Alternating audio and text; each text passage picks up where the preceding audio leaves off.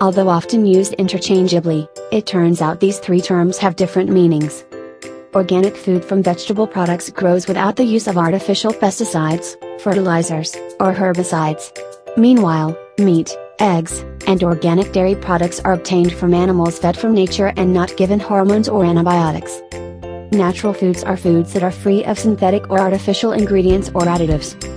Healthy food is a general term used for both natural and organic foods, or ordinary foods that go through a little processing, like whole wheat flour.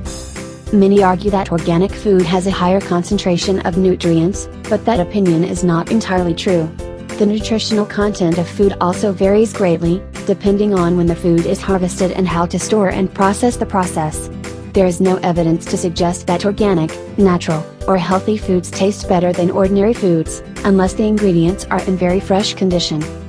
Flavors can be determined by plant genetics, not by type of foodstuff, whether organic or common.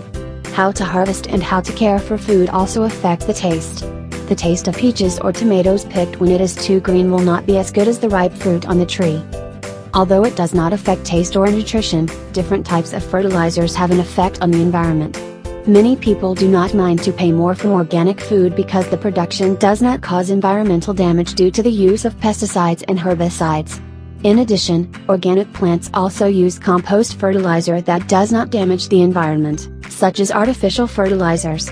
However, the organic label on foodstuffs has not guaranteed food free from contamination when the material is distributed to the market.